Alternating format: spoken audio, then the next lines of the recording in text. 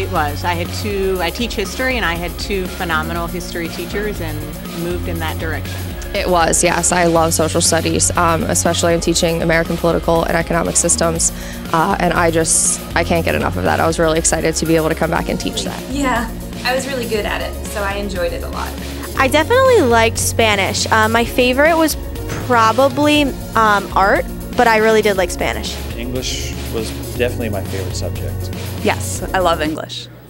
Oh my gosh, no. I hated science. Not at all. I teach math, and I'm sure most people will agree that it's their worst subject. There's the subject that they think is the most boring and the most difficult.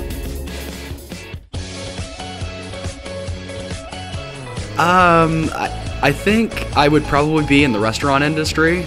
I would pursue anything with food. Even a, uh, some kind of a travel agent or somebody like who books events and, and, and fun happenings because I'm all about having fun. Probably working somewhere in the movie industry. I would love to go into music. I would be a backup dancer for Beyonce. No question. American Idol. American Idol. Uh, I'm a convert to The Voice this season, especially rooting on Matt Schuler, so I'd say The Voice. Voice. Matthew Schuler. Voice. Oh my God, Matt Schuler. Voice, voice, voice, voice. The voice. The voice. The Voice. The voice, definitely. And Mahoney's out.